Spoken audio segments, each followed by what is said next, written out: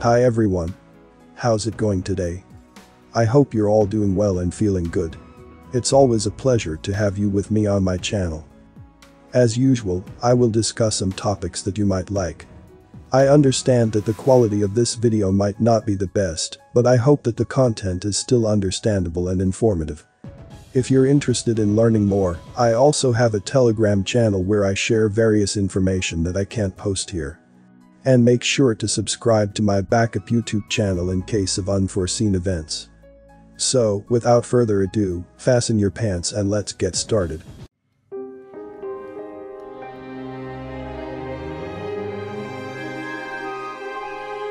Everyone knows Maslow and his pyramid of needs, right? Don't feel bad if you don't, it is just one of those psychological concepts psychologists like to come up with to illustrate explanations of the weird human mind. Not that this Maslow, he was pretty cool. And a lot of these guys and gals were rather brilliant in what they came up with. I only know who Maslow was because I had to study him in therapy school.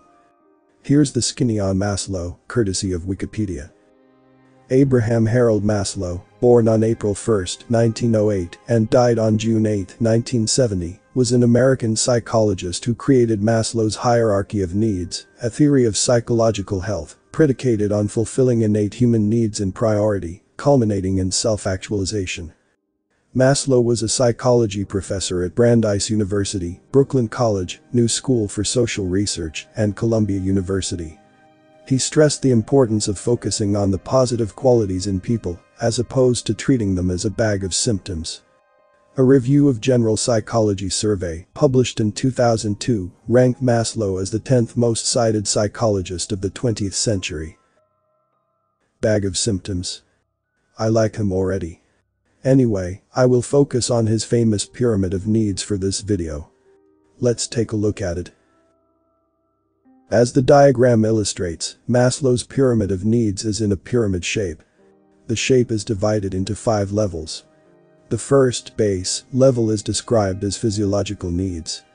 This is where food, water, shelter, clothing, breathing, etc. are sought as a need. A large portion of people on earth have satisfied this level, but of course, many have not. Certainly, in North America, most have moved to the second level. Here we find safety and security. This is the level of need that includes health, employment, property, family, and security. I am proposing that we are essentially stuck at this level, and this is the level that the agenda is primarily focused on keeping us. I will come back to this after going through the other levels. Next up is love and belonging.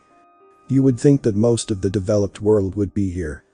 This is where relationships become the priority, romance, friendship, family, children, intimacy, and most importantly, a sense of connection. Although the culture struggles to reach this level, the agenda puts forth most of its effort to push us back down into level 2. Level 3 is dangerous to the agenda, it is where humans begin to function as humans, and not as consumer machines. Before I continue the video, please give a like if you learned something. Also, don't forget to subscribe and click the notification bell so you won't miss any update. Finally, watch until the end to avoid any misunderstanding. Thank you. Level 4, very few of us are engaged with. This is the level of self-esteem. Here we focus on confidence, personal achievement, and most importantly, the need to be a unique individual. Of course, the agenda will do everything in its power to keep us from spending any time here at all. The last level, 5, is self-actualization, which encompasses the need for a sense of morality, creativity, spontaneity, purpose, meaning, and inner potential. How many of us are at this elusive level? How many sheep are here?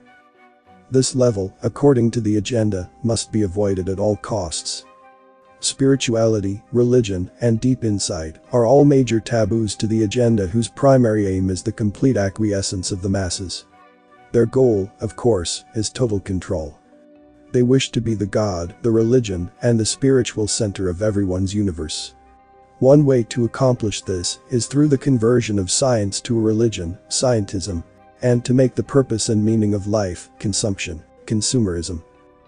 Let's go back to level 2 for a moment. I had forgotten after the many years that have passed since I studied Maslow's pyramid of needs as a student that this level consists of the need for security. Here is a quote from the website Simply Psychology that sheds a bit more light on this concept.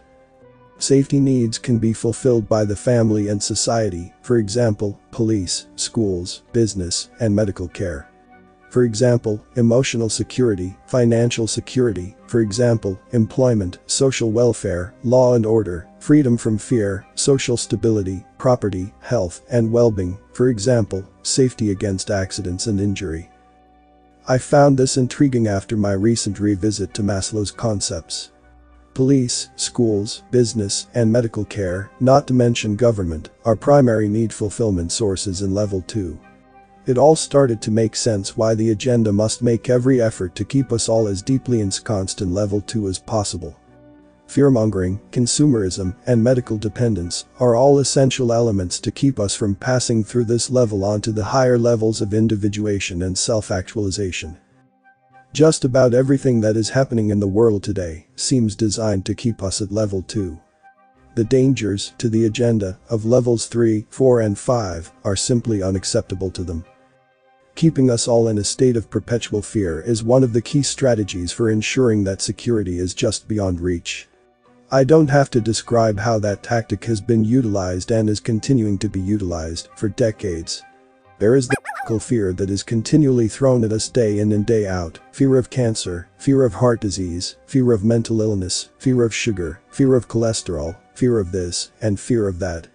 The entire medical industry is dependent on fostering fear and then offering a solution for what we are afraid of, which, more often than not, entails more drugs and more treatments to treat the side effects of the original treatment.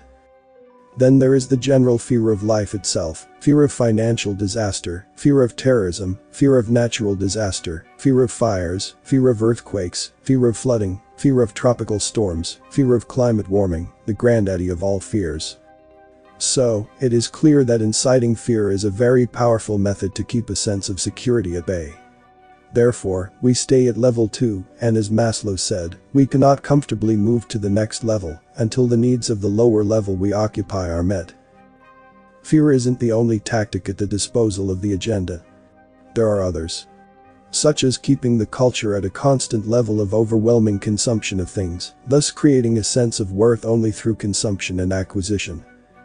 Dependence on cell phones, video games, drugs, and, of course, dependence on the government itself. All these dependencies can be manipulated from the top. They can be taken away, or the need for them increased, whatever is necessary to keep us feeling insecure, thus the needs of level 2 are never met. Take a closer look at the levels above level 2. The next one is a connection with other human beings.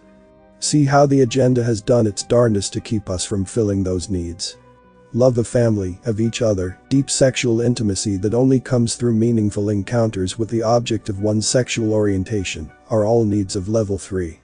It is clear the agenda does not want us venturing into level 3, let alone levels 4 and 5. If we do, we might actually start functioning like human beings, and it is quite clear no one in the elite class wants that. Now, it's time for me to hear from you. What are your thoughts on this video? If you found it interesting or informative, please consider giving it a thumbs up and sharing it with your friends and family. Remember, the more people know about these important topics, the better. Before we wrap up, I want to extend a huge thank you to all the individuals who dedicated their time and energy to research and gather the information presented in this video.